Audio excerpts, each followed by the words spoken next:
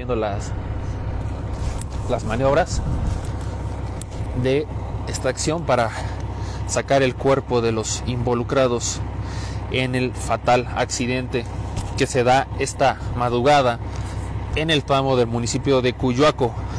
Eh, voy a volver a repetir las placas, es el dato duro que, que voy a mencionar con mucho gusto. Eh, las placas de circulación del Chevy es PDM76-11. Son tres personas sin vida, dos hombres y una mujer.